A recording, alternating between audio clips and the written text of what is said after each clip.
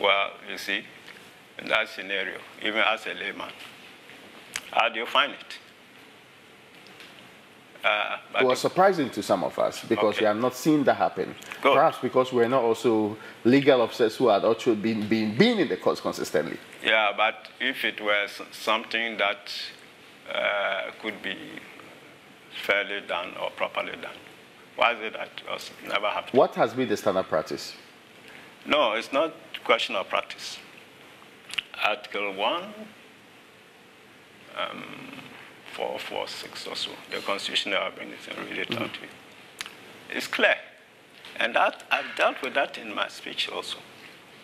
That when the, uh, in the absence of the, the, the, the Chief Justice, or if the Chief Justice is unable to act for any reason, the, ne the next, the most senior justice acts until the Chief Justice is able to resume the functions. That is a clear constitutional provision. And in Massey, when you read it, I said, look, some chief justices, to, oh, Africa, this thing is there, but they will look among the and think that, oh, these are close to me, the others maybe are pro here, and so.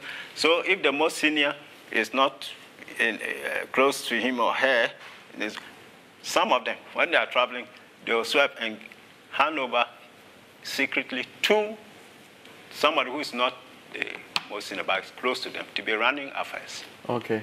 Yes. And even if they will give things to the next person, they are just inconsequential things, petty, petty things, mm. you see. And I noticed, uh, look, Redu suffered that thing, Redu, before he became Chief Justice. Whenever um, Abban traveled, mm -hmm.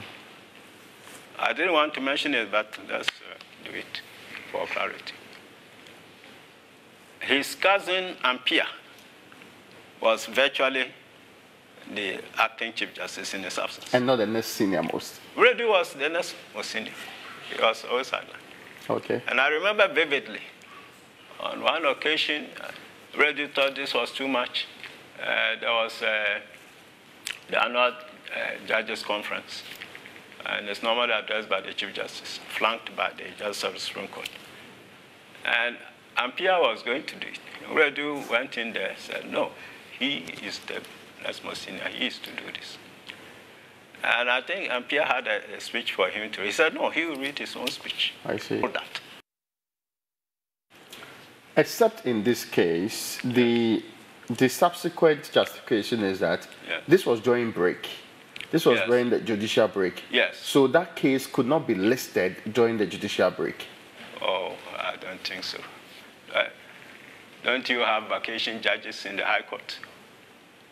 Vacation, urgent matters can be dealt with during vacation. That's a mm. settled practice of the legal system. Urgent matters. And even, I think I never do, there were vacation, Court of Appeal vacation judges, he mm. introduced that. It's not illegal to sit during the vacation. And even with the consent of the parties, you can try a substantive case during the vacation. Even at the apex court? Oh, why not? It's the same rule. It's not the same vacation. Is it possible the rules have changed?